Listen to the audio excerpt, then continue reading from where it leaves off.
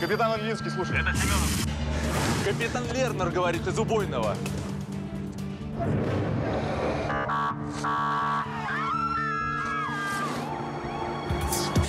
Муж этой Жилиной заявление накатал.